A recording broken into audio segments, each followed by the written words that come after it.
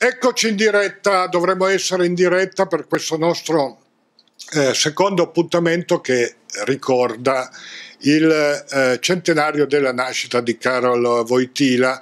Eh, abbiamo molti ospiti e alcuni devono ancora arrivare. Allora, per chi ci segue ovviamente su Facebook, eh, ve li presento. Carlotta Antonante da Torino, ci spiegherà lei perché è qui, perché lei, a parte che ha fatto per noi il, il marchio di, di il brand diciamo di questi incontri che poi utilizzeremo nel riepilogo ovviamente di tutti gli incontri ma non solo ho avuto un'idea essendo a casa ed essendo come tutti noi suboccupata diciamo così perché disoccupato è brutto diciamo suboccupato eh, a si è inventata una cosa molto particolare che ci dirà e ha fatto questo eh, anche per noi.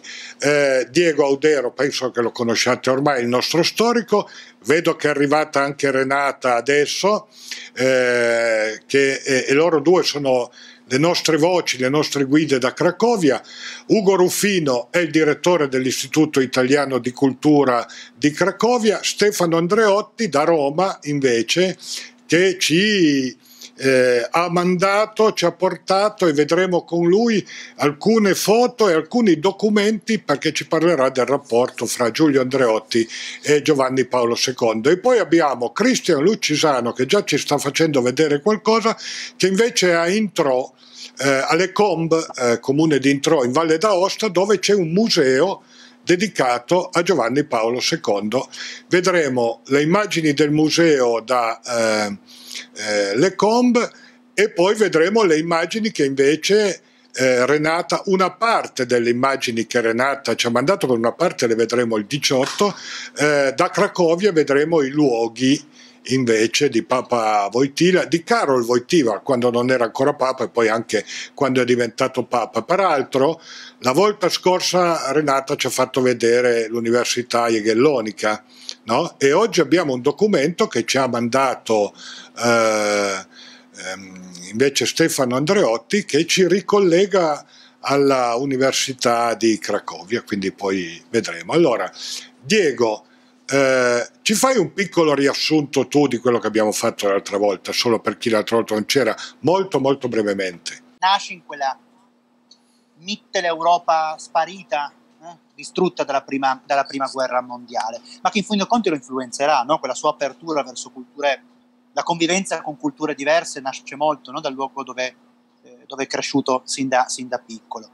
Così come il contatto con la povertà, abbiamo raccontato che eh, suo padre eh, era un ufficiale dell'esercito austro-ungherese, lui rimane orfano di madre quando aveva solo, solo 8 anni, gli muore il fratello maggiore quando ne aveva 13 e quindi insomma eh, vive la povertà di quegli anni, di una Polonia che sta rinascendo, dell'inflazione, della mancanza di lavoro. Eh, e poi un'altra esperienza fondamentale, abbiamo detto, è la seconda, guerra, la seconda guerra mondiale, perché sarà durante la seconda guerra mondiale quando perde il padre, quindi rimane totalmente da solo di fatto sulla terra, quando eh, si avvicina alla vita religiosa attiva, lui profondamente religioso già prima della guerra, si trova a decidere se partecipare alla, alla vita militare della resistenza come tutti i suoi compagni di scuola o alla vita spirituale, no? eh, aiutare la Polonia in che modo? E lo farà dopo un incidente eh, mentre andava sul, sul, lavoro, lui che parteciperà anche, altro elemento fondamentale, al lavoro fisico in una miniera di pietra calcare, quando, di calcare, quando i nazisti obbligarono a tutti i polacchi a 20 più di 18 anni, 16 per gli ebrei, di trovarsi lavoro, anche trovarsi un lavoro, anche il fatto di aver lavorato fisicamente no? avrà un profondo, una profonda valenza nella sua, nella sua vita. Eh, la guerra di per sé eh, ha una profonda valenza nella sua vita, no? il rifiuto, quel rifiuto alla guerra che lo seguirà per tutta, per tutta la, sua, la, sua, esistenza. E poi la Polonia post, post-guerra, no? l'inizio della, dell'epoca del comunismo, una Cracovia, eh, abbiamo peraltro anche raccontato della figura importante di, Stefan, di, di Adam Sapieha, il suo, il suo padre spirituale, no? l'arcivescovo di Cracovia, come lui cresca sotto la protezione di questa figura che è importantissima, arcivescovo di Cracovia nei cinque anni del nazismo e arcivescovo di Cracovia nei primi cinque anni dello stalinismo, forse i dieci anni più duri della città. Lui nasce, si forma in questo seminario clandestino e molto, e molto, lo formerà appunto. Vive poi quegli anni dell'interregno della mancanza di un arcivescovo a Cracovia, perché il Partito Comunista non permette l'elezione di un arcivescovo metropolita di Cracovia, lui sarà il primo dopo un interregno di quasi, di quasi 16 anni. E diventa di fatto arcivescovo di Cracovia in un momento molto delicato, perché siamo dopo il fallimento dell'epoca di grandi riforme dell'Est Europa, i carri armati sovietici che entrano, che entrano a Praga eh, e fermano no, il, l'evoluzione del socialismo con una faccia, una faccia più, eh, più, umana. Siamo in un'epoca difficile per Cracovia, le grandi lotte a Nova Uta per la costruzione del, della, dell'unica chiesa presente in un quartiere che doveva essere senza fede, no? un quartiere che rappresentasse gli ideali del comunismo, le grandi acciaierie Lenin, i grandi casermoni dove vivevano eh, gli operai, no? ma non ci doveva essere la fede. Lui invece lotterà sin da subito perché venga costruita la, eh, questa, eh, questa, questa chiesa. E poi l'elezione a Papa, ci siamo arrivati in qualche modo, è un'epoca molto complessa, ricordiamo la morte di Papa Luciani dopo soli 33 giorni, che aveva impressionato no? il, mondo, il, mondo della, il, mondo, della, Chiesa. Siamo in anni complicati, siamo dopo, perché lo ricordavamo in questi giorni, l'uccisione di Moro, gli anni del terrorismo in Italia, sono anni molto molto duri. No?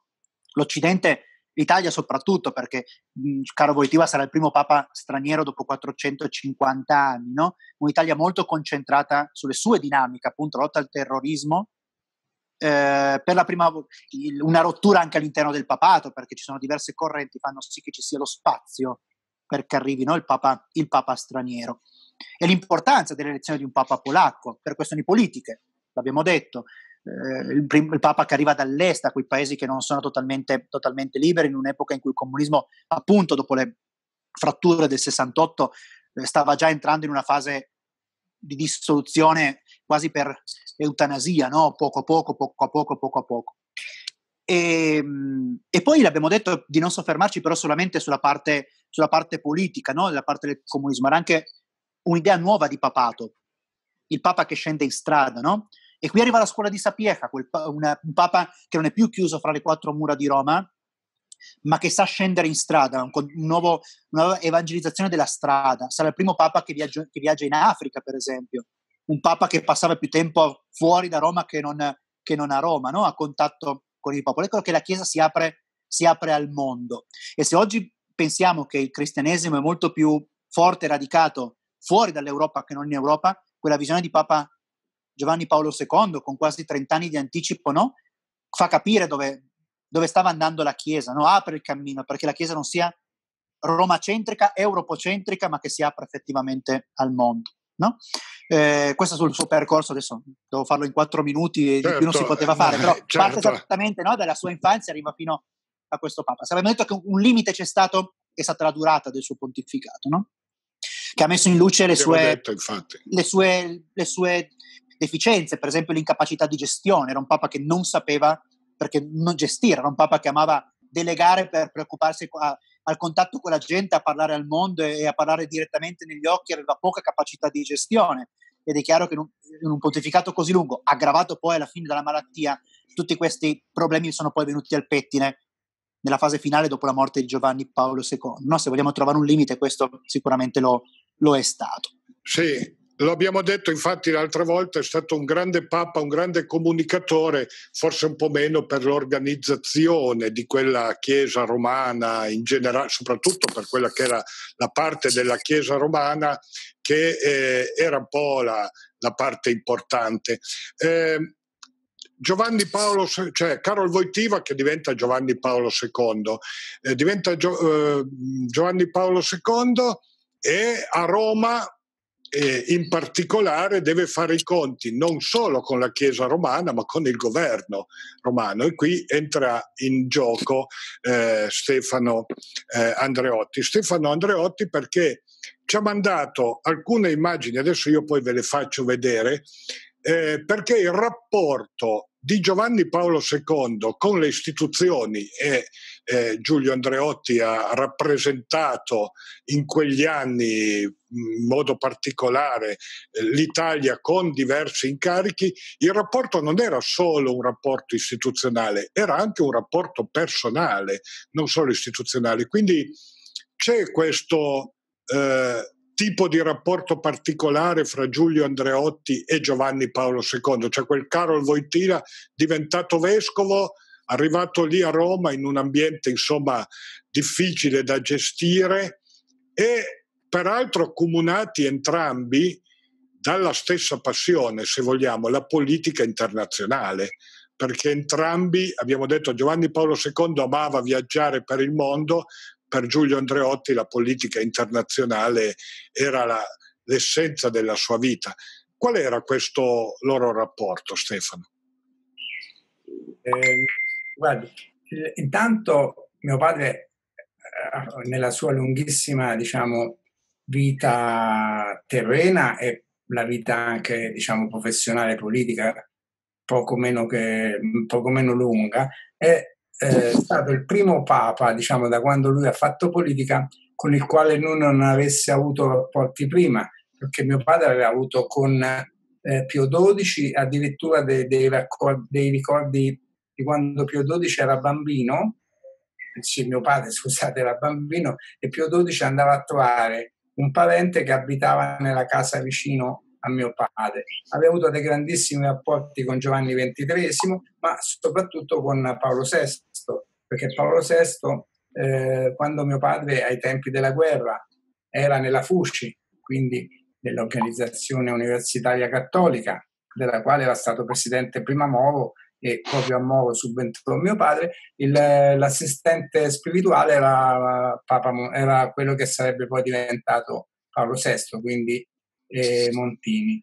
E, Giovanni Paolo II lo ha conosciuto eh, come tutti gli altri, come me, come tante altre persone, no, conosciuto, io non l'ho conosciuto altro che una volta, ma diciamo abbiamo saputo chi era nel momento in cui è divenuto Papa. Sua, il suo primo ricordo di Giovanni Paolo II era la visita, lui in quel momento era Presidente del Consiglio, quindi fu fatta una visita eh, ufficiale, in quell'occasione lo conobbe. Mio padre scrisse anche una lettera, non so se ve l'ho mandata tra quelle che vi ho anticipato, una lettera in cui eh, mio padre appunto gli dava diciamo, il benvenuto ufficiale come Papa. C'è una lettera molto bella del, del Papa di risposta di un paio di mesi dopo, quindi siamo nel, nella seconda parte del 1978. Eh, diciamo nei primi tempi probabilmente stata anche un, un piccolo, diciamo, eh, problemino dato da questo. Mio padre in quegli anni era il presidente del Consiglio di un governo che in qualche modo aveva aperto al Partito Comunista, prima in una forma diciamo di astensione e poi di, di supporto, anche se i comunisti non entravano nel governo, votavano a favore. E eh, c'era stato diciamo, qualcuno che aveva riferito a mio padre un po' di freddo da parte del eh, nuovo Papa che probabilmente del Partito Comunista eh, polacco aveva delle idee un po' più eh, negative di quello che eh, era il Partito Comunista Italiano che si stava evolvendo no, verso un'apertura all'Alleanza Atlantica, all'Europa, quindi stava un pochino cambiando pelle.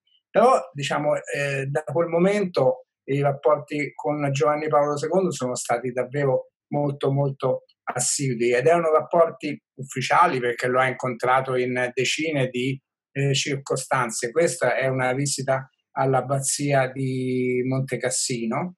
Eh, lo, l'ho incontrato tantissime volte e eh, l'ho, l'ho incontrato tante volte anche privatamente perché come hai accennato prima, eh, Papa aveva una particolarissima attenzione al mondo e in particolare chiaramente alla sua Polonia.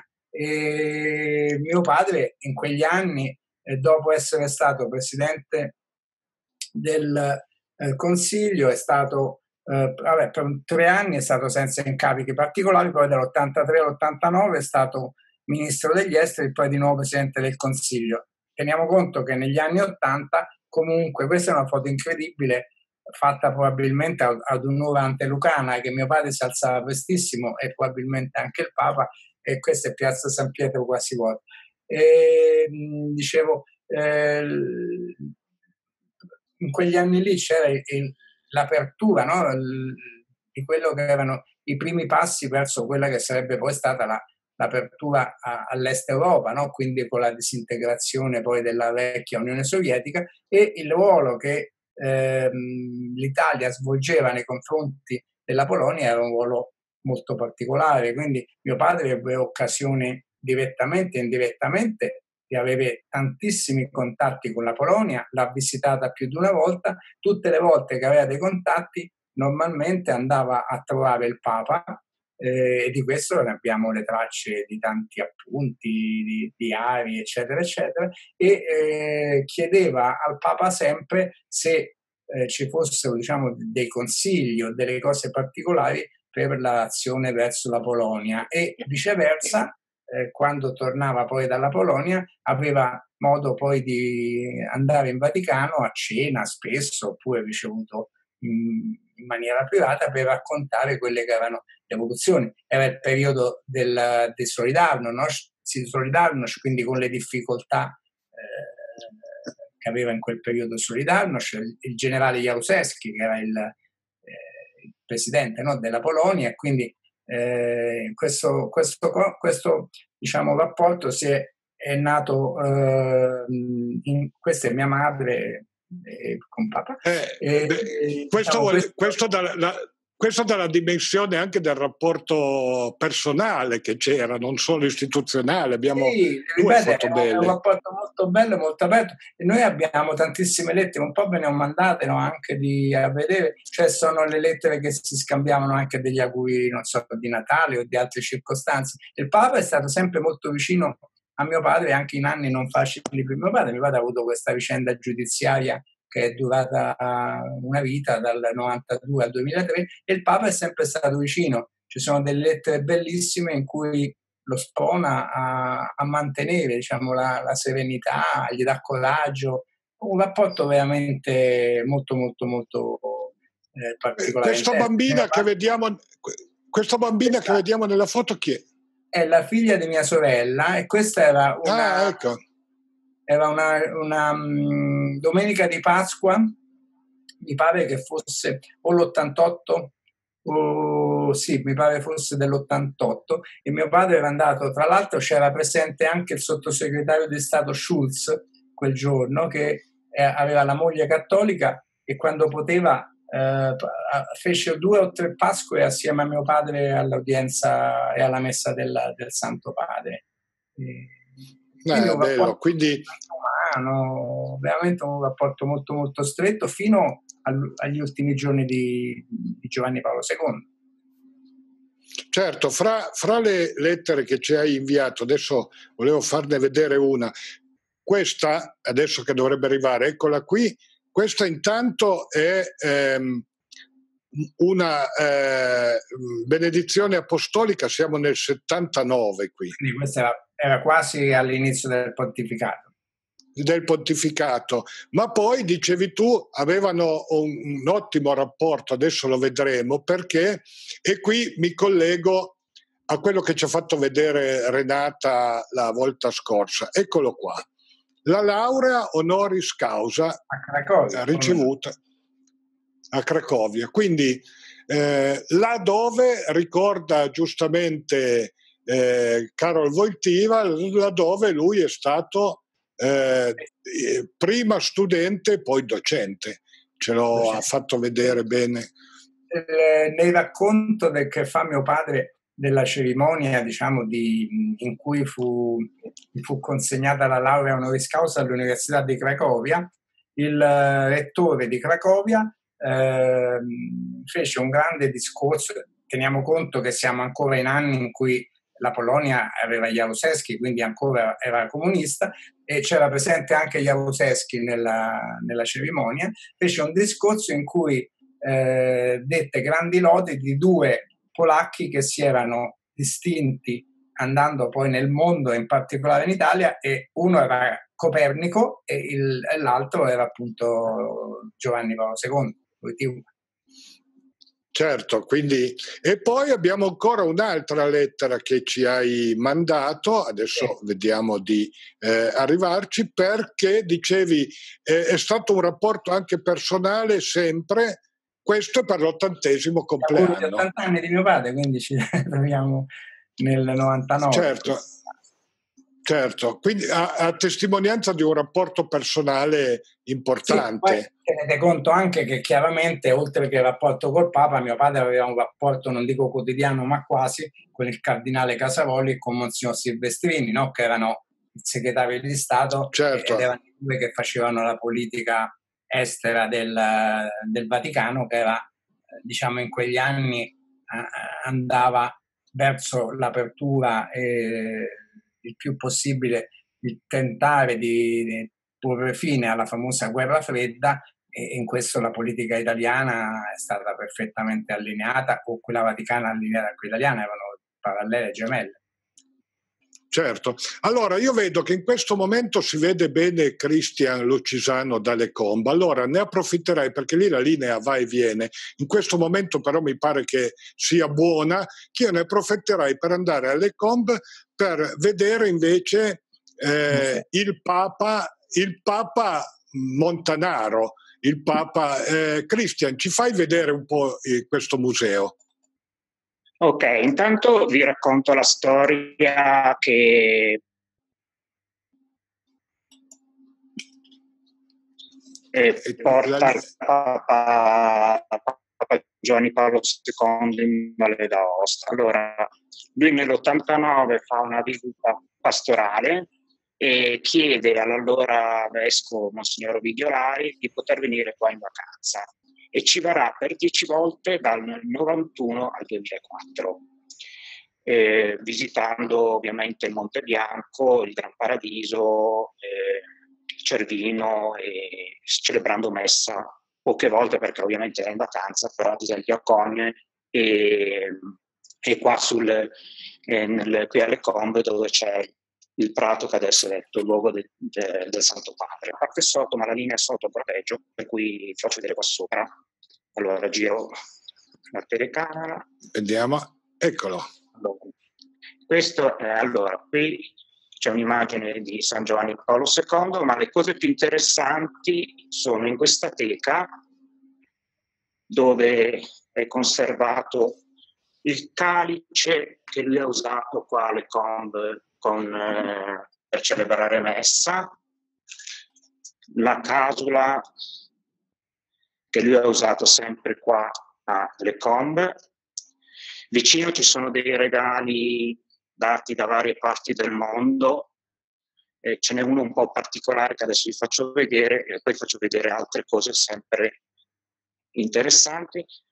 Questo manufatto, non so se si vede la bellezza, però è un, è un altarino in madreperla traforato intagliato dono di Yasser Arafat. E ah. si vede la, la resurrezione, adesso cerco di far vedere un po' meglio, solo che dentro la teca allora non mi posso avvicinare tanto, e il cenacolo. Poi, cosa interessante, sempre riguardo alla sua visita in Valle d'Aosta, è l'acciaccamento che lui ha usato sul Monte Bianco, le scarpe che gli sono state regalate per andare a fare le, passe- le prime passeggiate, che l'hanno dovuto trovare più o meno simil bianche. E, e questa è una, una tavola regalata da una signora giapponese che, a cui è stato fatto un miracolo da parte di San Giovanni Paolo II e gli aveva stato regalato quando lui era ancora in vita. E cose... Poi vabbè, ci sono... All'interno del museo ci sono le foto dei suoi viaggi, adesso mi avvicino un po' a varie cose particolari, tipo i monaci buddisti. E quello zaino che voi vedete, adesso vi faccio vedere, è lo zaino che lui portava in giro perché a volte, cioè lui ovviamente senza dire niente in giro si facevano le passeggiate qua intorno in Valle d'Aosta e lui aveva il suo zainetto personale con i vari attrezzi e vi faccio vedere anche di qua che che sono particolari, tipo c'è il porta stuzzicadenti, il peperoncino, il sale, mm. la padella per far da mangiare, le posate, addirittura la prebottiglie. E questo museo è, è stato fatto nel 97 quando il Papa era ancora in vita, infatti lui l'ha visitato, ed è, ed è stato incrementato anche con i doni fatti dal Cardinal Bertone di vari oggetti e libri da lui donati.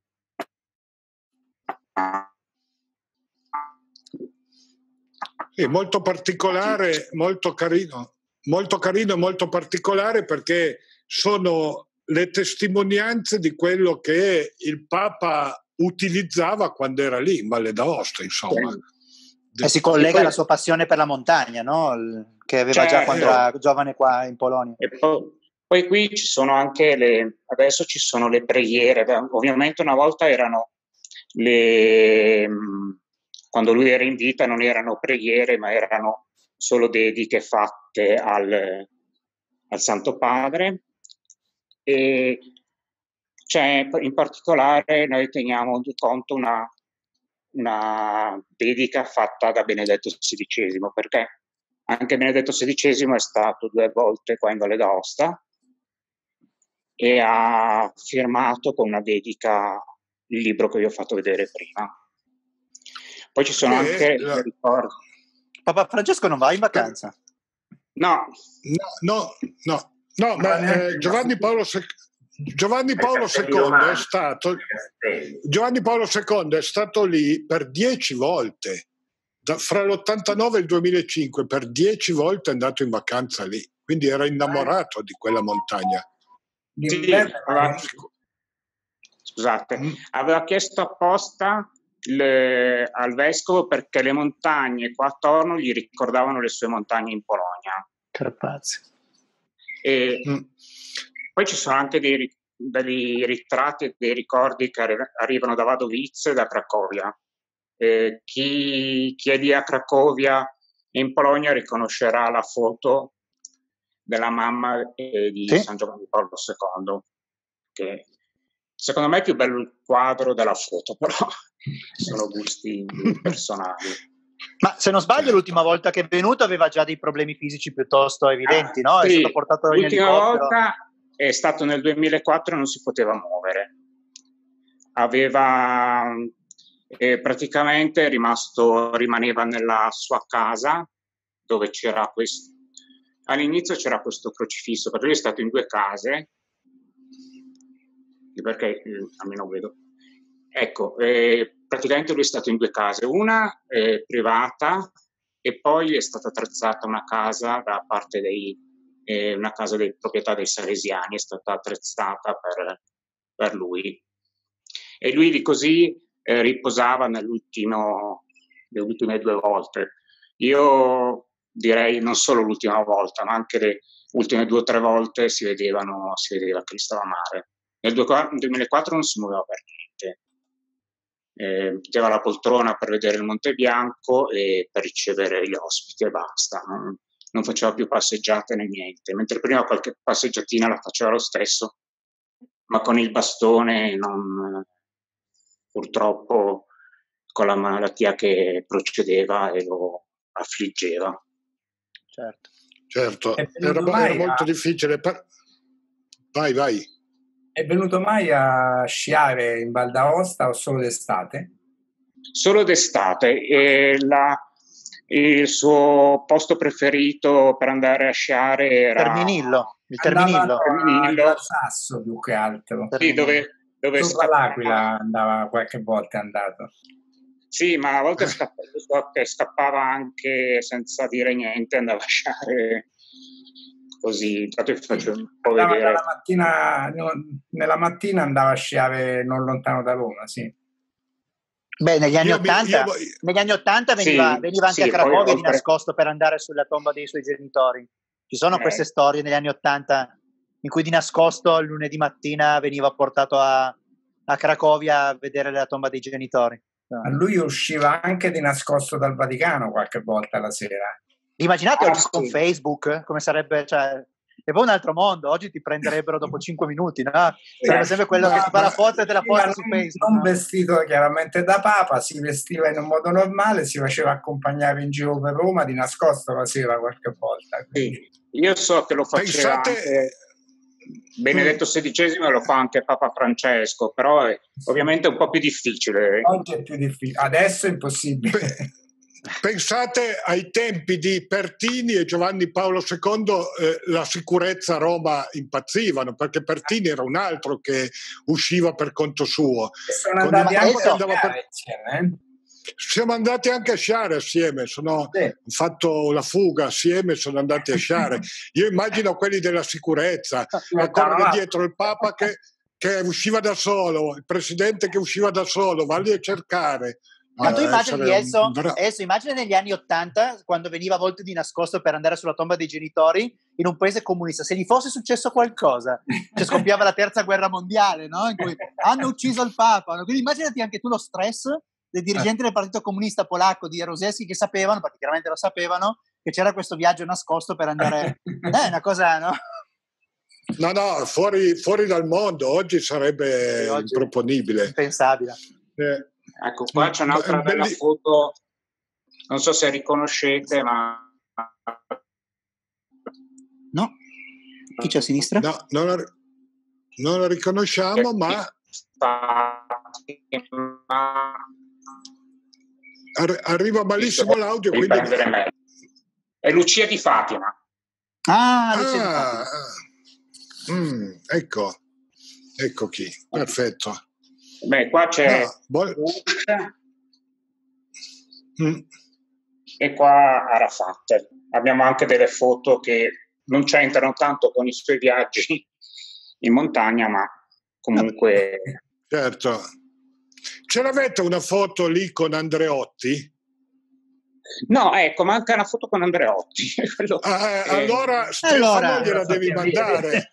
Vedi? Eh sì, Stefano te la, man- te la, manderà sicuramente perché eh, lui ne ha a bizzeffe e, e, e, non può mancare una, una foto eh, con, no, no, con, certo, con no, Andrea.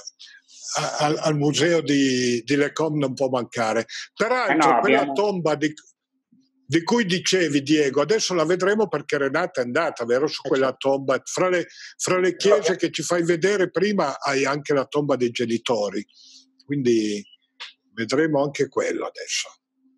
Non so cosa Renata vi farà vedere, però qui a Cracovia abbiamo anche il, il vestito del Papa durante, durante l'attentato eh. quindi quello ancora macchiato, sì, di, allora, macchiato eh. di, sangue. E qui a Cracovia, appunto, se non sbaglio, l'hanno spostato però nel centro Giovanni Paolo II, giusto Renata? Adesso non voglio dire una stupidaggine. No, no, nella, nella, parte eh, superiore, ma quando ero stata, eh, era chiusa questa era parte. chiusa, sì, sì, sì. Forse devo tornare per far vedere. Perché, perché la, stola, la stola è a, è a Chenstokova, davanti al quadro della, della Vergine Maria Cestokova c'è appunto, come si chiama, la, quella che porta sul collo il Papa bianco, no? la stola, come si sì, chiama? Sì, esatto, con la macchina penso. di sangue. E poi c'è, c'è, se non sbaglio, anche eh, nella corona della Vergine Maria di Cestokova incastonato eh, il proiettile, no? dovrebbe essere incastonato nella corona della Vergine di Cestokova. No, quella di Fatima. Quella di Fatima? Ok, ho detto una Fatima. quella di Fatima. Ok, esatto. Però qui a Cracovia abbiamo appunto il vestito, il vestito quello dell'attentato. Sì, ma adesso cose. poi più avanti vediamo il video, vedremo la tomba dei genitori che Renata ci fa vedere e alcune delle chiese. Poi nell'appuntamento del 18 vedremo l'ultima parte del filmato di Renata e vedremo fra l'altro dove lavorava, Diego facevi cenno al lavoro eh, da, da, da eh, scavava, scavava in una cava, quindi, e, e vedremo Nuova Uta e, e le ultime battaglie del, del, vescovo allora ancora di Cracovia. Renata è andata a farci vedere Nuova Uta, la chiesa, la croce. Grande è un, masso parti- è un masso particolare che io non... Cioè, è la prima volta che vedo un masso che diventa monumento, ma c'è un, c'è un perché, Renata poi ce l'ha spiegato nel suo video, ovviamente. All'Econ vedo, avete anche la foto con, Maria, con Madre Teresa di Calcutta. Sì, abbiamo. Infatti ho fatto vedere questa perché Le foto più belle con, della Valle d'Aosta sono nel piano sotto, che è su, su due piani, il museo, però certo. la linea è alta e allora ho preferito ah, ecco. non andare sotto per evitare... Certo, certo. Certo, molto bene. Eh, intanto abbiamo scoperto che c'è questo museo e ti ringraziamo per averci fatto conoscere questo museo. Poi abbiamo eh, di fatto costretto... Un Un'altra ragione per andare a vedere la bellissima Valle d'Aosta. Eh, infatti. Un'altra ragione. Scusate. Esatto. Poi abbiamo di, di, fatto impegnato Stefano Andreotti a, fa, a, farvi avere una foto con Giulio Andreotti, quindi ecco, implementerete anche il vostro museo. Eh, allora, visto questo, prima di eh, passare a Carlotta, perché Carlotta ha fatto per noi un logo particolare, ma ha fatto delle cose particolari, prima volevo provare a farvi vedere questa parte di video che ha fatto Renata, così poi Renata ci spiega anche che cosa manca ancora, perché ce l'abbiamo già, Renata ce l'ha già mandato, però ci siamo voluti tenere qualcosa per il 18, perché il 18 avremo Alessandra Ferraro, sempre da Osta, che è una giornalista RAI che ha seguito sempre praticamente Giovanni Paolo II in Valle d'Aosta e ci racconterà eh, i suoi incontri con Giovanni Paolo II, mentre domani alle 10 al mattino avremo Don Genesio Tarasco che era l'economo dei Salesiani e quindi eh, l'economo ai tempi anche di Giovanni Paolo II, quindi un'altra testimonianza del diretta eh, con Giovanni Paolo II. Allora, se io riesco sempre se riesco, vi faccio vedere eh, una parte di quello che ci ha mandato eh, Renata da eh, Cracovia. Vediamo. Nella parte nuova del cimitero Rakowicki a Cracovia è situata la tomba dei genitori di Karol Wojtyła, della famiglia eh, Wojtyła Kaczorowski. Qui sono sepolti i genitori di Karol Wojtyła fratello maggiore Edmund e nonni materni. Durante ogni sua visita apostolica a Cracovia, eh, Karol Wojtyła visitò la tomba dei genitori.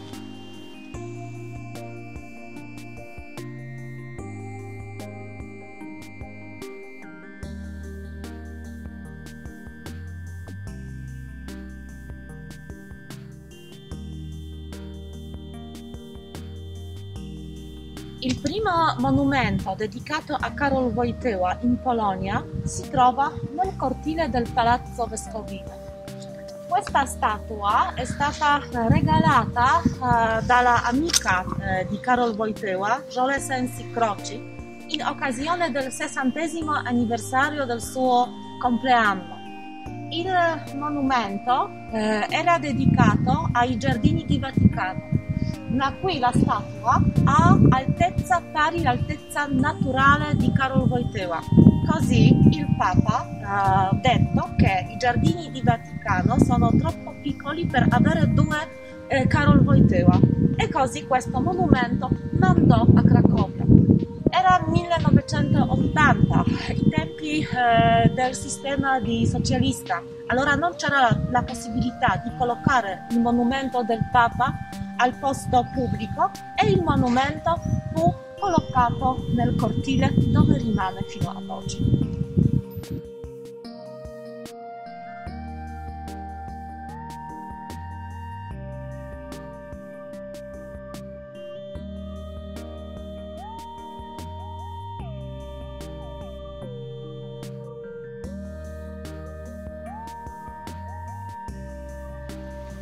Dopo la morte di San Giovanni Paolo II fu inaugurato il monumento del raffigurante Papa inginocchiato con eh, un rosario in mano rivolto verso la tomba dei genitori.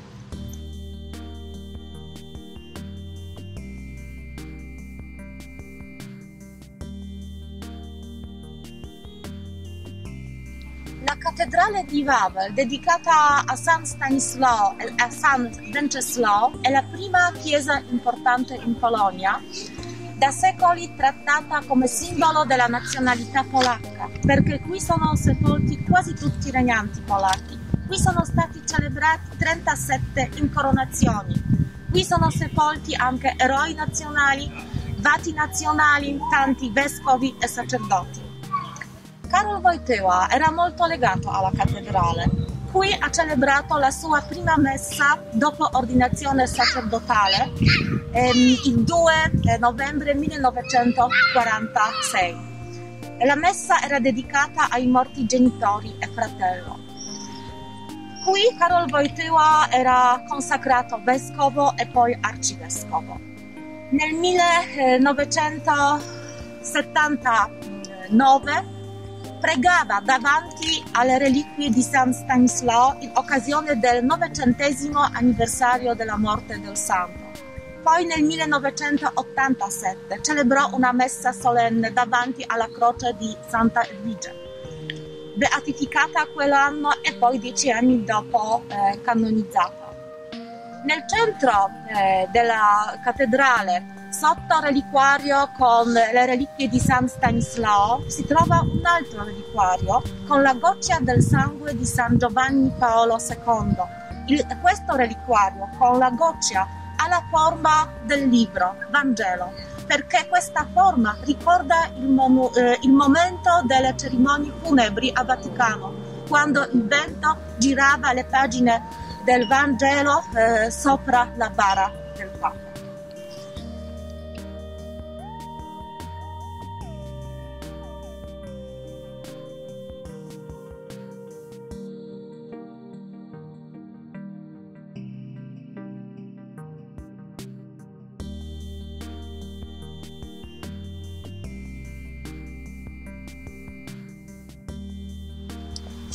La roccia è il posto del culto di San Stanislao, patrono della Polonia.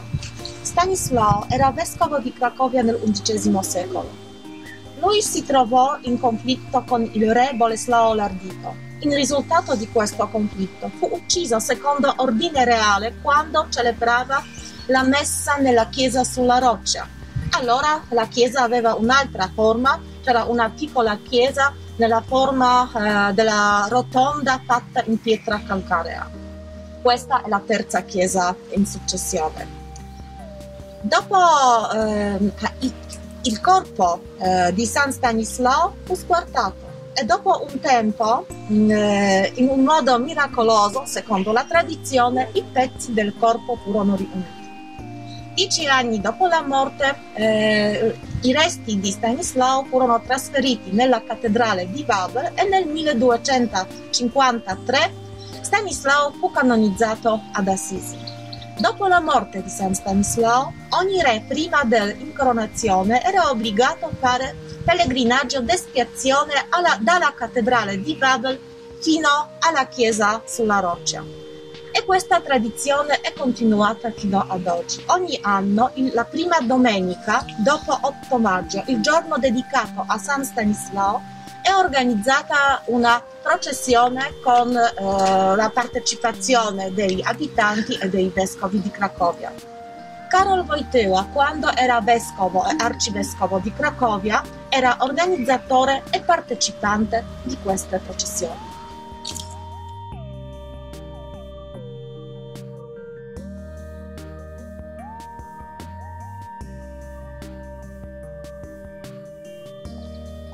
La chiesa sulla roccia, dedicata a San Stanislao e San Michele Arcangelo, eh, dal XV secolo appartiene, appartiene ai Paolini. Adesso siamo davanti all'altare di tre millenni eh, eretto in occasione del settecentesimo anniversario della legalizzazione dell'ordine dei eh, Paolini.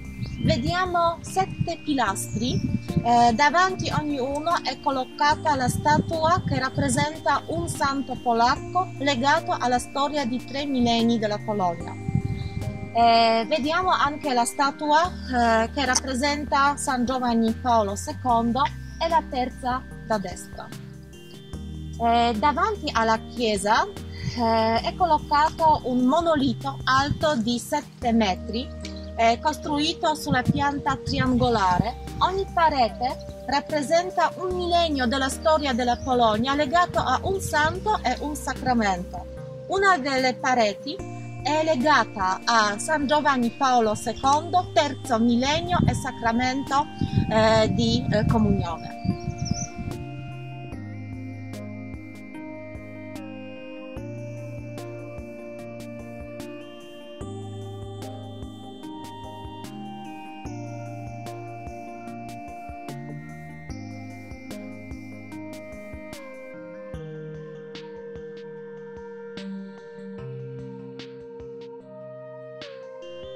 A causa dell'afflusso di tanti pellegrini ci fu bisogno costruire una chiesa più grande. E nel 1997 Karol Wojtyła, durante una delle sue visite eh, a Cracovia, benedisse la pietra angolare del futuro tempio.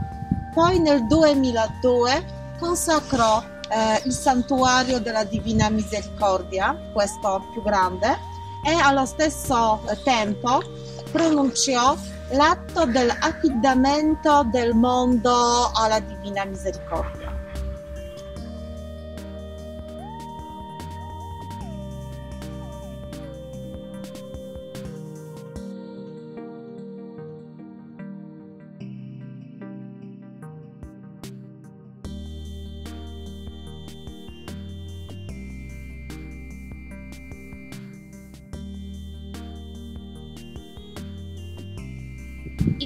Santuario della Divina Misericordia di Łagiewnicki eh, è collocato eh, presso il convento delle Suore della Madonna della Divina Misericordia. Nella cappella conventuale eh, dedicata a San Giuseppe si trova il famoso immagine Gesù confido in te, dipinto secondo la visione di Suor Faustina. Dentro la cappella si trova anche il corpo di Suor Faustina. Durante la seconda guerra mondiale, Karol Wojtyła, operaio del vicino stabilimento Solvay, veniva spesso nella cappella per una preghiera e per celebrare eh, le messe. Negli anni 60 diresse eh, il processo informativo relativo alla vita di Suor Faustina. Nel 1985 chiamò questo luogo il centro del culto della Divina Misericordia.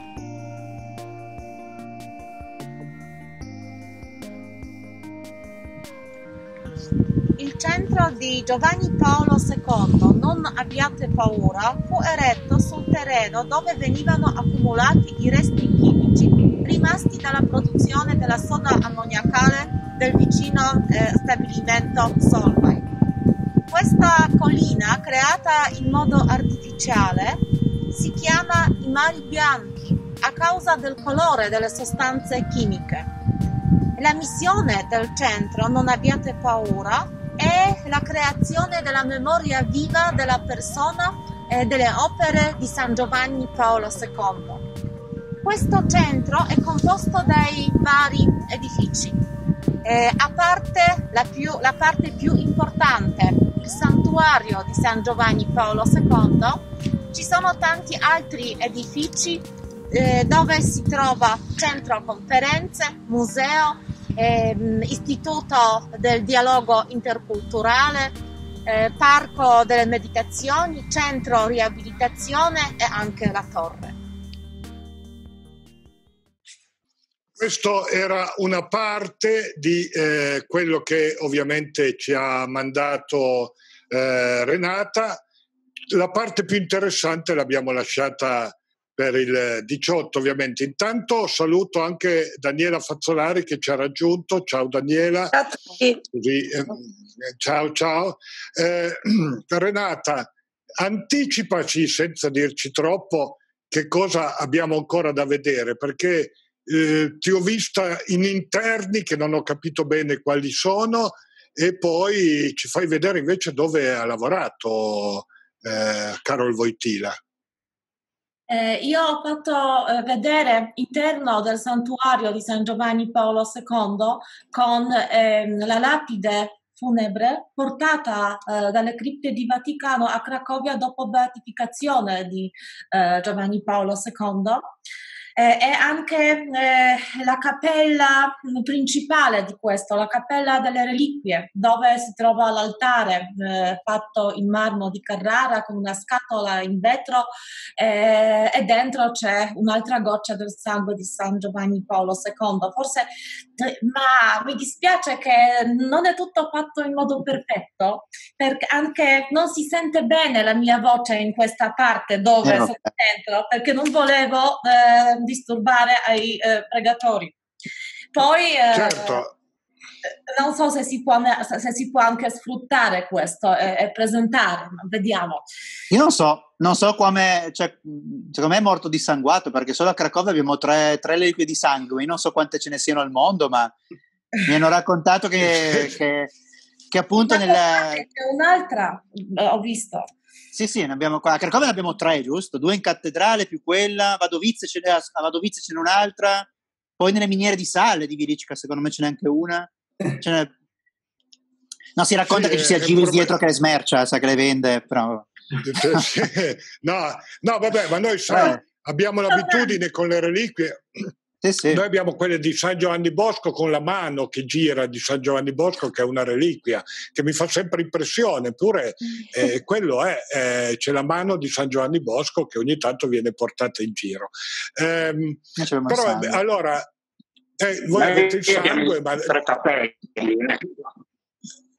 Eh, sì, quindi bisognerebbe riuscire, a, magari facendo questi incontri lo raggruppiamo tutto, riusciamo a capire quanta roba c'è in giro veramente, però vuol dire che veramente era un papa, eh, è stato un papa amato da tutti e che ha viaggiato ovunque, oltretutto, e questa è, è, una delle cose più importanti.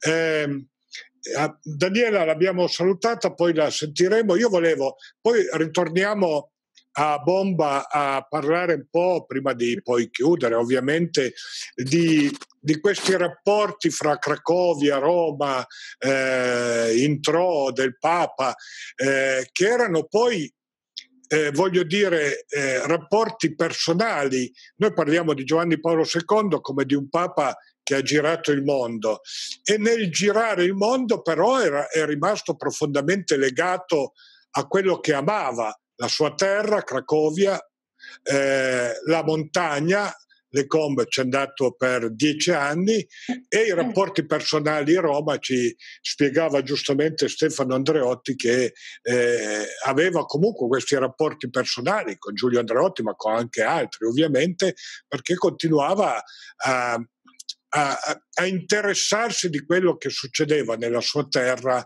e, e, e negli affetti che aveva personali. Prima di tornare a questo, però, volevo farvi vedere questo logo che ci ha fatto eh, Carlotta, perché voglio chiamare eh, eh un po' eh, Carlotta, che fino adesso ha fatto da spettatrice, eh, ed è il logo che useremo di qui in avanti, ma poi Carlotta ci farà vedere qualcos'altro. Allora, questo, eccolo qua, questo è il logo che useremo per i cent'anni che ha disegnato Carlotta. Carlotta ha 26 anni, eh, fa la grafica ovviamente, farebbe volentieri la grafica se si potesse fare anche di questi tempi, vero Carlotta?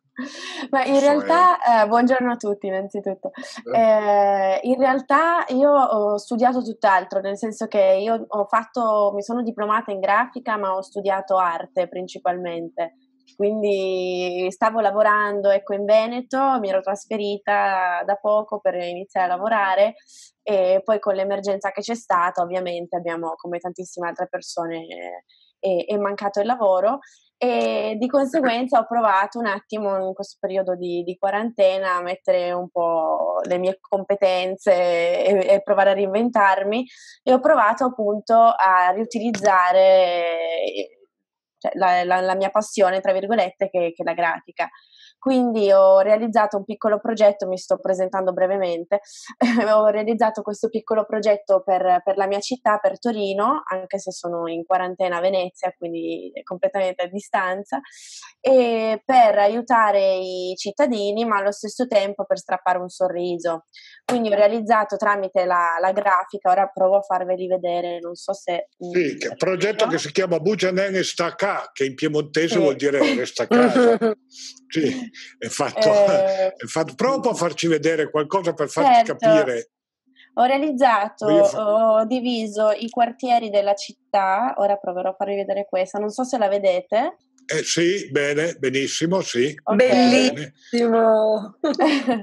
e ho cercato di, appunto, tramite i brand più famosi, dividere la città nei 34, 34 quartieri e dare a ciascuno un, un logo, quindi questo per, appunto, uh, strappare un sorriso alle persone, ma allo stesso tempo uh, vedo un attimo perché ne ho altre, vediamo qualcos'altro. Eh, ma bello perché questa creatività... Bello. Bello, allora, vero? Questa, questa Guarda, eh, era quella della Play. Arrivo subito perché, ok, sì, sì. qui, non so se si vede. sì, certo. Ok. Eh, riconosciamo, eh. a noi che siamo di Torino, Santa Rita. Eh, Peraltro, sì. Daniela, eh, tu sei a Roma adesso, ma tu sei torinese. Sì. Sì, eh, sì, sì, eh, sì, quindi, sì sono... quindi li conosci i quartieri di Torino? Eh beh, direi di sì. Infatti, guarda, è eh. bellissima questa cosa. È bellissima. Eh, questo progetto inizialmente è nato... con l'acqua panna. Sì. sì, molto bello. Parella, eh, parella, parella, con la Pirelli, la Pozzostrada con la PlayStation. Sì, sì, bello, bello. Avevo provato a fare. Ecco, Ugo, fateli qua. fare su Napoli ho fatto barriera no, con barilla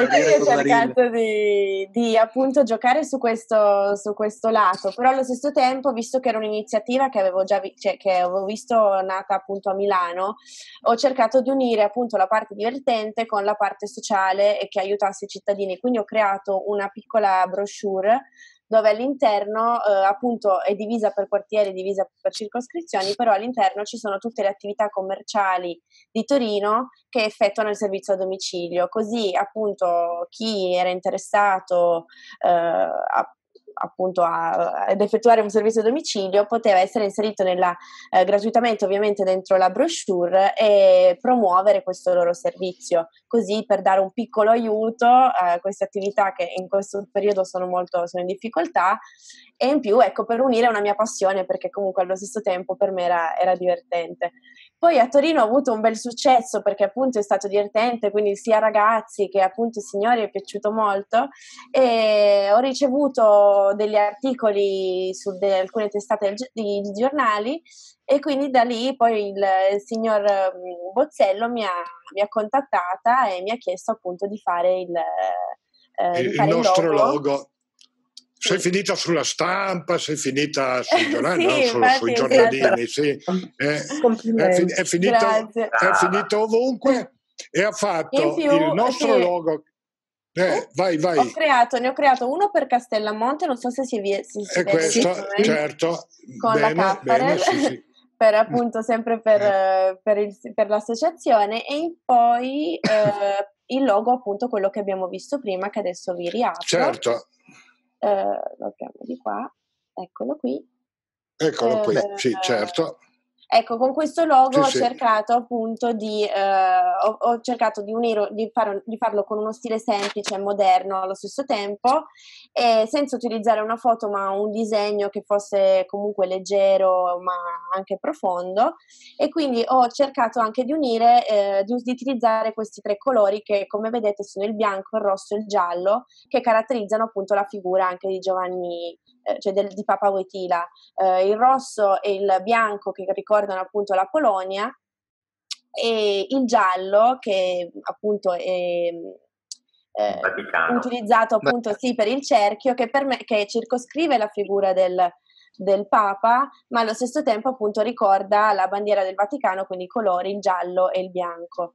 E in più eh, l'ho rappresentato con attraverso la, il suo aspetto umano, quindi attraverso ho deciso di inserire appunto un, un gesto che in questo momento ci manca molto, che può essere un abbraccio. E, ehm, e, appunto eh, tutto questo logo gira intorno fra- ad una frase che eh, ho inserito poi nella, in una cartolina che ho realizzato. Che certo, te la faccio vedere io la cartolina. Ah, okay. ah, ce l'hai tu? Avevo, sì, ah, avevo, ce l'hai tu, va bene. Ero andata. Perfetto. E Perfetto, appunto ricordare il passato per uh, abbracciare il futuro. Quindi um, le, le, figure che ci sono, ci sono appunto il Papa, viene rappresentato come Papa ma allo stesso tempo come uomo e anche il bambino che ricorda appunto questo, questa connessione, questo concetto tra passato e futuro. Quindi visto che siamo qua con l'associazione anche la memoria viva, che eh, il suo scopo è quello di ricordare il passato, e il senso anche del logo è riconsiderare appunto il concetto di passato e di collegarlo eh, al futuro, cioè bisogna comunque non bisogna eh, ecco, seppellire il passato, ma eh, ricordarlo per affrontare meglio il futuro. Il senso del, eh, del logo è stato creato principalmente per, per questo, gira tutto intorno a questo concetto. Molto bello, noi questo logo qua lo useremo adesso per, perché il 18 faremo una lunghissima diretta che finirà con una messa anche eh, e, e, riproporremo tutti questi incontri dalle 10 di mattina e useremo questo tuo logo su tutta la diretta, ovviamente ci sarà anche questa diretta perché le riproporremo tutti, riproporremo dall'inizio alla fine il video completo di Renata che ci farà questa visita a Cracovia con quello che abbiamo già visto, quello che abbiamo visto oggi e quello che vedremo il 18, quindi avremo una visione d'insieme di tutto. Eh, eh, ne approfitto, eh, visto che è arrivata anche Daniela, eh, tu torinese adesso sei diventata romana, poi tu sei un po' piemontese, un po' meridionale. Sei... infatti sì, direi di sì perché papà, papà è calabrese, mamma, eh, mamma sì è piemontese di nascita, mio nonno era dell'Alta Savoia, insomma anche lì c'è un miscuglio, però ecco lei è nata a Susa, quindi insomma ecco, sì, sono torinese. Tu nella tua, tu nella tua attività... Eh, professionale hai mai incrociato qualche racconto eh, che riguardasse il Papa?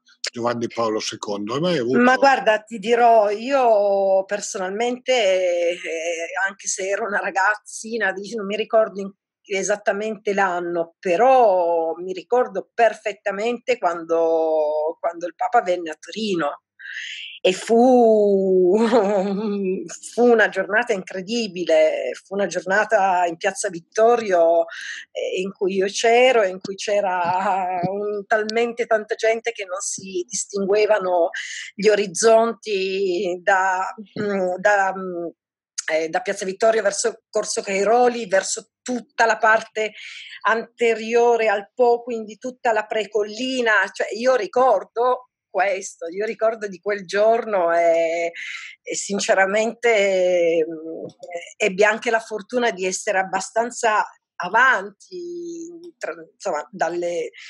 Mm, ero dentro eh, dove c'erano certo. le sedie, adesso non ricordo, forse mia mamma era uscita, insomma, ecco, quindi ricordo di averlo visto fisicamente e questo, insomma, questo è ti ripeto, quel giorno a Torino io me lo ricorderò tutta la vita, ma non solo io, perché a Torino ci sono state tante manifestazioni importanti e nell'arco degli ultimi 30-40 anni. Ce ne sono state che hanno raccolto popolo, però credetemi che quel giorno lì la preparazione, l'emozione, l'entusiasmo, l'organizzazione di quei giorni a Torino sono stati veramente qualcosa di, di incredibile. Guardate, mi, mi, mi, emoziona veramente a parlarne, non, non, ne avevo mai parlato prima d'ora. Eh, eh tu, tu, piccolissima, ma anche eh, Stefano Andreotti. Tu Stefano l'hai mai visto proprio di persona Giovanni Paolo II? Io sì, una volta sola veramente. Cioè, qualche volta eh. sono andato in piazza um, alle, alle, udienze, alle udienze, insomma, quando si, affaccia la domen- quando si affacciava la domenica dalla finestra. Vangelo.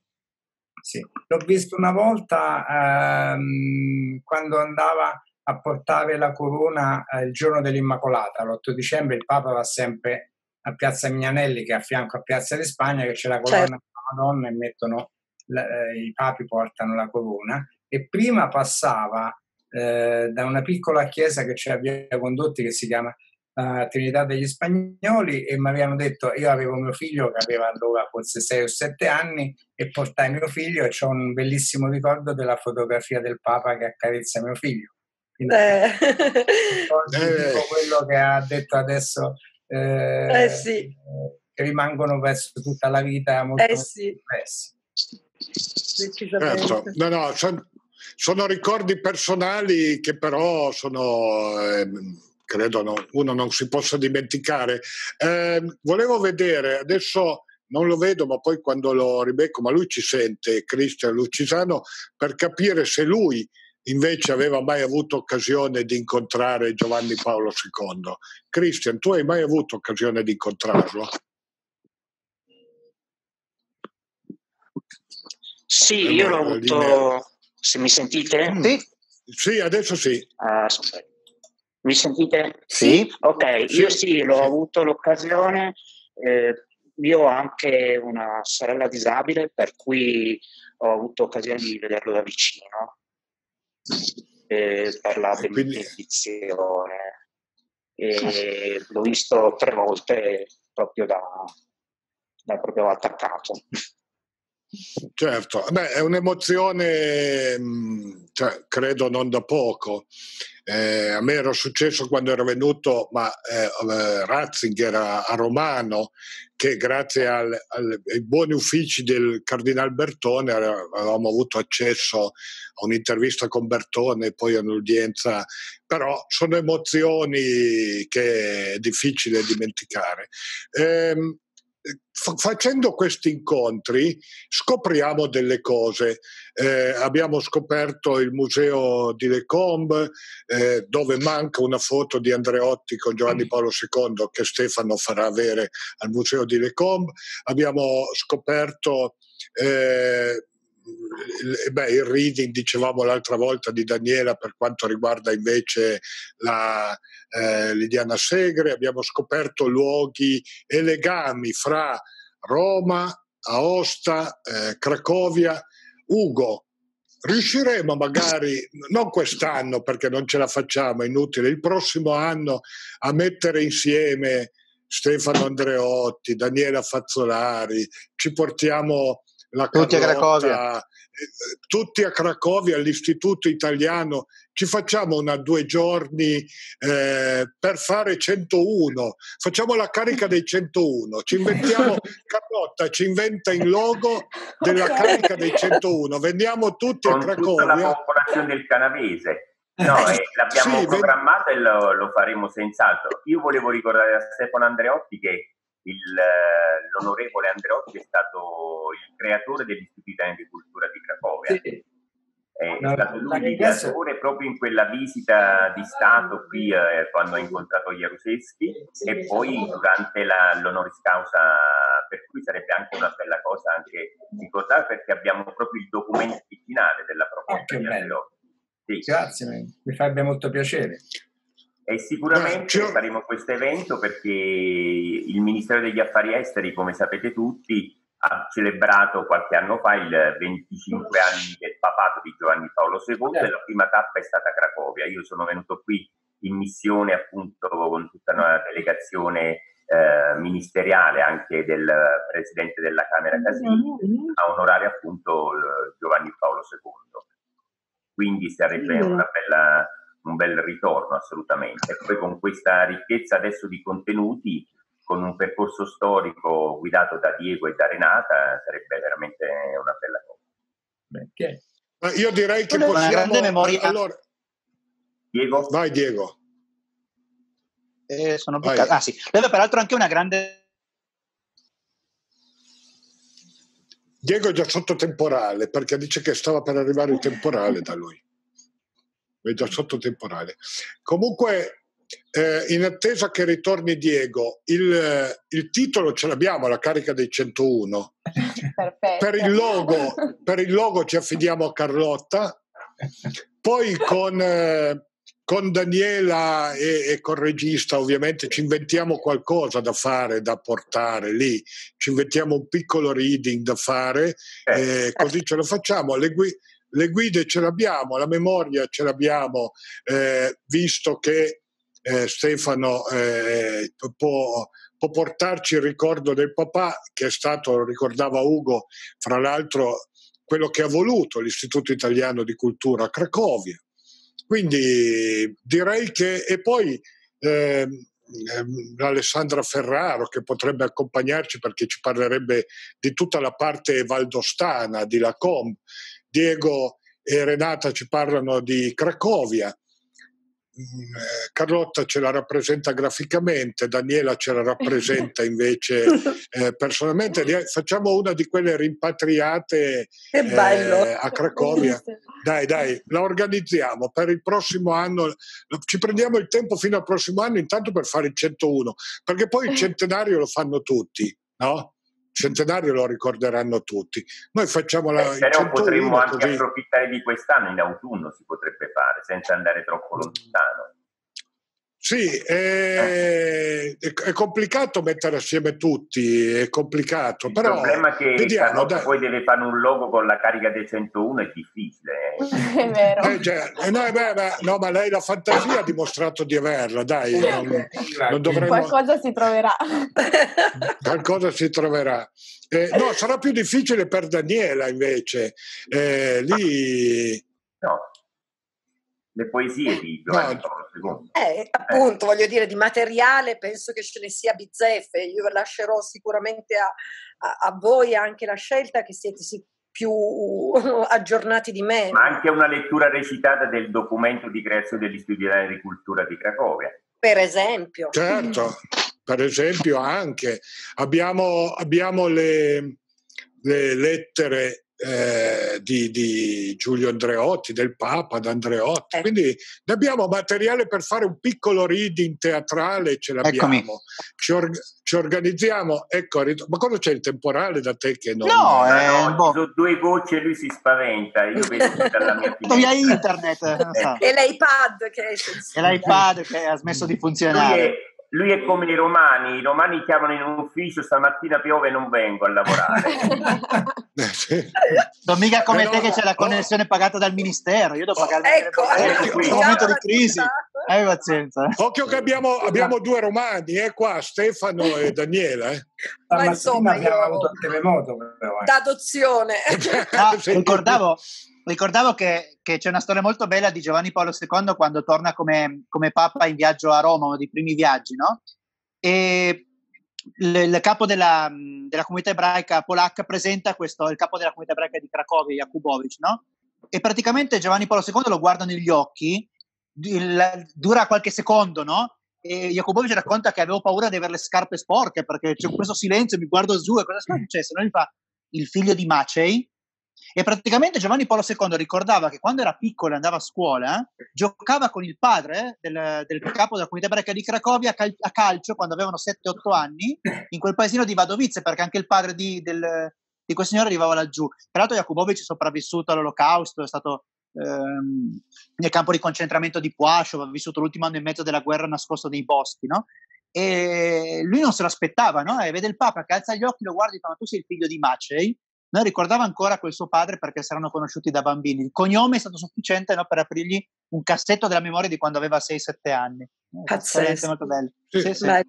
No, bello, ma ecco, questi episodi magari così come quelli che ricordava Stefano delle, degli incontri fra, fra, suo papà e, e, Giovanni Paolo II, li potremmo mettere insieme magari per certo. davvero fare un ritratto di Carol Voitiva che è un po' diverso come eh, quelli che ci racconterà anche il 18 Alessandra Ferraro dalle Com, lei l'ha incontrato parecchie volte, quindi ha degli aneddoti, Christian ce ne diceva alcuni eh, da intro, quindi potremmo disegnare una figura di Carol Voitiva con un piccolo reading eh, attraverso questi episodi minori che però danno il senso. C'è testimonianze. Della certo. Le testimonianze che danno il senso della grandezza della persona, esatto. perché poi le persone sono grandi quando riescono ad apprezzare le piccole cose, le grandi eh, cose sì. le sapriamo apprezzare tutti, eh, ovviamente. Eh, eh, per Renata, visto che siamo in collegamento, eh, noi abbiamo la tua ultima parte che ci hai già mandato. Eh, prossima, ehm, al prossimo incontro invece eh, parleremo di eh, Carol Voitiva, lavoratore, e poi ho visto, eh, fa, ma è lì che lavoravo, ho visto un torrente, mi sembrava un, uno spazio verde, sembra un parco, ma lavorava lì, Buoni, c'era il parco quando, quando lavorava Zakrzówek. Adesso ah, è un posto bello per ricreazione, ma prima c'erano le cave di pietra. Ah, io forse non ho detto che io sono rappresentante della generazione in Polonia ehm, che eh, era ehm, testimone di tutti i pellegrini di Karol Wojtyła a Cracovia. Io, io in qualsiasi modo ho partecipato in tutte le visite di Giovanni Paolo II a Cracovia e ricordo che sono stata anche a Częstochowa durante i primi giorni mondiali di gioventù. Eh, io sono vecchia, c'era, se ricordo bene, no. 86. Ecco. Eh. Karol Wojtyła quando era vescovo, arcivescovo. Ricordo che lui ha celebrato una messa nella cattedrale di Babel in occasione del primo anniversario della mia prima comunione. Ah. Pensa che, ecco, ma tu poi lo... Ho già detto nei filmati. Non, non io, esatto. io peraltro ma... conosco, conosco una, una, una, una, guida di Cracovia perché oggi non più, ma le guide di Cracovia una volta avevano eh, il privilegio, parliamo degli anni 70, 60, 70, avevano il privilegio di potersi sposare nella cappella più bella della cattedrale di Cracovia, che era la cappella no, di, dei, dei degli Agelloni, eh, fatta da artisti italiani, Bartolomeo Berecci, e le guide di Cracovia avevano questo privilegio di poter chiedere di sposarsi lì, chissà per quale ragione. E conosco una, una, una signora che è in pensione, cioè già quasi 90 anni, però che si è sposata, è stata sposata da Giovanni Paolo II, cardinale di Cracovia, nella cappella no, dei, degli Agelloni nella cattedrale di, di, Cracovia. E ho un'altra amica sempre guida che ricorda quando era piccola che eh, siccome suo padre aveva un negozio di alimentari nel, nel, nel, mercato rionale qui di Clepage, eh, Giovanni Paolo II andava sempre lì da, civescovo, da, da vescovo a comprare eh, i formaggi, eccetera, e la prendeva sulle ginocchia tranquillamente. No? Eh, sono, sono, storie che qui certo. a Cracovia girano ancora al giorno d'oggi. No? Certo, con testimoni. Peraltro, Renata, anche la tua famiglia aveva legami poi con quando Carol era, ce l'hai detto nel video dell'altra volta, vero? Sì, sì, sì, perché mm, la mia famiglia abitava di fronte alla chiesa di San Floriano, dove Carlo Wojtyła era vicario da giovane, mio nonno era sarto, eh, ha conosciuto personalmente Carol Wojtyła perché cuciva a volte pantaloni per giovane Carol Wojtyła, per vicario.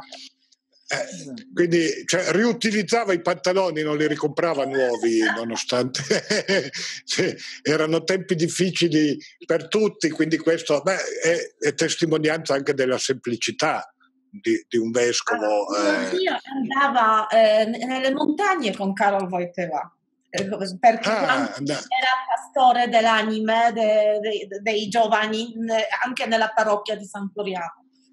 C'è anche un ecco album, ecco. mia zia ha questo album dove c'è la foto mio zio insieme a, a Carol Wojtyła in una uh, gita nelle montagne.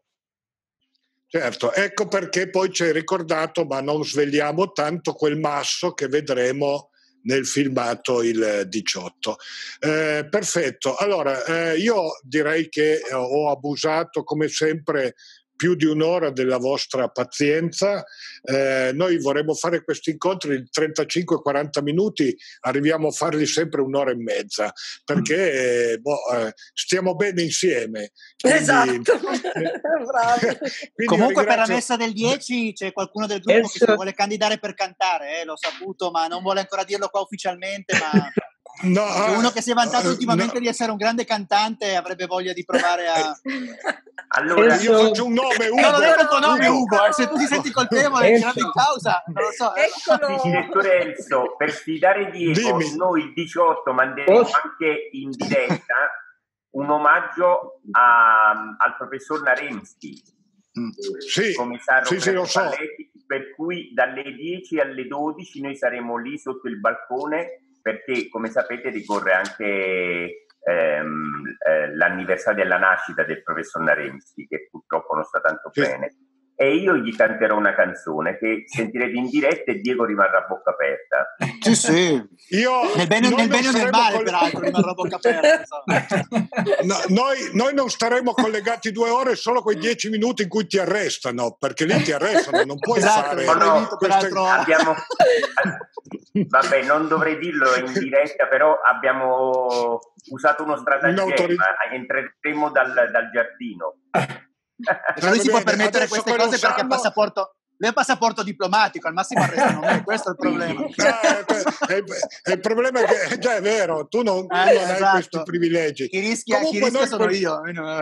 Quel quarto d'ora per vedere se vi arrestano o no, intanto come canta, perché Ugo lo arrestano o perché non può fare quella cosa perché non, è un assembramento o per come canta, o per come canta. Comunque una delle due non la scampi, non, non, non so. Non arresteranno solo me, ma tutta la delegazione, anche scolaresca, che ha dedicato proprio, ha scritto una canzone, una scolaresca di un liceo di Cracovia uh, una canzone proprio in onore del professore. Per chi non conosce il, il dottor Naremski è stato uno dei giovani che ha partecipato alla liberazione a Cassino dell'Armata Anders. A Bologna, il secondo corpo d'armata del generale esatto. Anders. Ah. Sì, esatto. e che è anche quello del famoso Orso che si chiama quasi come lui e che lo confondono con lui e lui si arrabbia perché cioè, l'orso, io, il nome è quasi lo stesso ma lui non è l'orso, comunque orso al quale hanno fatto un monumento anche. Era la mascotte del secondo corpo d'armata. Portato a piedi eh, l'orso dalla Siria fino a Roma. Eh, eh, ed, era, ed, era, la mascotte ed, ed, aveva, ed è stato trasportato in nave dal, eh, dall'Egitto, dal, dalla sì, Siria. Sì, da sono partiti dalla Siria, hanno preso in eh, Siria, hanno portato verso l'Iran fino, fino a, poi, a, Brindisi, ma in, in, barca. A Brindisi, portato a Brindisi solo perché lo hanno eh, arruolato come soldato, perché gli animali soldato. non potevano entrare nelle navi. Quindi eh, hanno, l'hanno arruolato come soldato, aveva la sua targhetta come soldato, quindi l'orso è diventato un soldato e come soldato poté salire sulla nave. Quindi è l'unico corpo d'armata che fra i suoi soldati aveva un orso. È una storia bellissima, anche quella ce l'ha raccontata quando siamo andati Rigola aveva il cavallo e loro avevano l'orso. Mm. Eh, va bene, dai, adesso, è bellissimo. Adesso dimmi posso Enzo. intervenire? Quando vuoi. Eh, allora, giorno, quando a proposito vuoi. di testimonianze, a proposito di testimonianze, vi voglio far vedere questa benedizione ah, eh, sì, allora, aspetta che vedo eh, se riesco a metterla. Io l'ho avuta perché lo zio di, mio, eh, di mia moglie era missionario in Argentina, vissuto sempre in Argentina, da quando è stato nominato sacerdote dei salesiani, l'hanno mandato in Argentina, è stato sempre là. Eh, ci ha fatto avere questa benedizione pas- eh, papale quando lui è venuto a Roma ed è stato per un certo periodo in Vaticano, aveva conosciuto il Papa, aveva, avuto, eh, aveva parlato con lui e volevo solo raccontarvi perché questo zio e il suo vescovo era l'attuale Papa. Quando era a Buenos Aires, ah. era, eh, l'attuale Papa era il suo vescovo. Per cui Penso mettiamo te. in comunicazione i due, i due, papi. Sì. Pensa a te gli intrecci come ci portano. Eh, Ecco, la prossima volta quando parleremo ancora del Papa, perché oramai non c'è più tempo, volevo mettere in relazione eh, il papato di Papa Giovanni Paolo II quando eh, è stato un polacco che doveva, è stato messo a fare il Papa anche perché c'era un, un fine anche politico per, verso i paesi dell'est, e il Papa di adesso, che viene da Sud America, un Papa che comunque ha, è stato messo, diciamo, per, eh, perché il Papa che si rivolge di, più verso i più deboli. Ecco, certo, tu fare questo parallelo domani... la prossima volta fra, fra Domani noi avremo eh, Don, Genesio, Don Genesio Taris, eh, Tarasco domani alle 10, che peraltro era l'economo dei Salesiani, quindi in questo caso eh, un po' di collegamento sicuramente ci sarà, non solo perché parleremo di Giovanni Paolo II, ma perché parleremo delle missioni, quindi in questo ah. caso certamente avremo eh, collegato quello che è il lavoro che fanno i missionari e eh, eh, nel caso di tuo zio 10, che no? domani mattina alle 10 e parleremo dei missionari proprio sicuramente. Quindi chi di voi vuole esserci ovviamente è benvenuto. Allora io vi ringrazio tutti per questo spassosissimo incontro eh, perché è sempre un piacere io vi, io vi comunico sempre, cioè Roberto poi in realtà vi comunica sempre eh, quando facciamo questi incontri, quando volete, ma vale anche per Carlotta che vedo, so che sei occupatissima a, a disoccuparti, però eh, eh, quando, quando, vuoi partecipare, vale per Stefano, certo, vale per certo, Daniela, teni, teniamo vivo questo gruppo perché così eh, non eh, convinciamo Ugo a fare qualcosa di importante a Cracovia. Okay? Cantare. Le porte sono aperte. canta- intanto, intanto, comunque adesso io, non farei molto, dove... adesso io non farei molto affidamento sul mio intervento lunedì, però eh, nel caso nel caso in cui mi arrestino alle 10, io poi alle 3 purtroppo, se non mi vedi arrivare... Eh, oh. eh, vabbè, tieniti pronta Renata, non andate solo tutti e due, perché se andate tutti e due vi arrestano tutti, sì. noi rimaniamo senza guide da Cracovia, eh.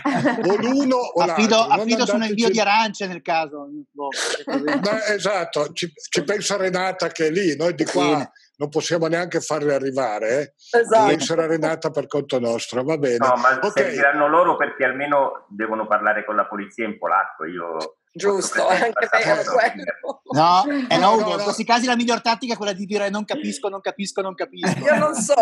Io non so. La, la, guarda, eh, l'abbiamo fatto per una multa evitata proprio davanti all'Istituto Italiano di Cracovia l'ultima volta che siamo andati perché avevamo parcheggiato i furgoni, no? lo sapevo che non puoi mettere le ruote pedona, pedona, pedonale. Bravo. Allora, quando, quando, in, quando, in, zona pedonale con, in, sul marciapiede col furgone è arrivata una pattuglia e ci ha bloccati, eh, la, l'unica cosa che abbiamo saputo fare eh, e abbiamo visto che parlavano inglese, abbiamo detto Cribio, se parliamo, se parliamo inglese qui dobbiamo spiegare cose inspiegabili. Diciamo che non sappiamo neanche l'inglese, parliamo solo ecco. italiano. A gesti ci hanno fatto capire che se ci toglievamo da lì Era ce meglio. la saremmo cavata. E allora ce la siamo cavata così. Però Ugo, puoi fare lo stesso. mi manda Rufino, per cui ti hanno... Ho, de- ho, detto anche mi manda Rufino perché se c'era qualcuno da mettere in galera sapessero chi. Io, potevo, io dovevo tornare. Tu sei lì, io dovevo tornare, non potevo dopo, dopo, il, car- dopo il cardinale e il sindaco sindaco Rufino è il terzo, la terza autorità certo, della città. Sì, sì. sì, sì infatti. No, ma, ma, anche il suo dipendente, chi era lì, che, che, ci ha aperto, anche lui faceva il nome di Rufino, eh? perché sca- il capo è lui, e quindi scaricavano tutti. Va bene. Va ok, bene. dai, anche, questi, allora. inediti. Un saluto. Saluti, grazie a tutti di essere stati con noi. Ciao, ciao, ciao, ciao, ciao, ciao, ciao. ciao.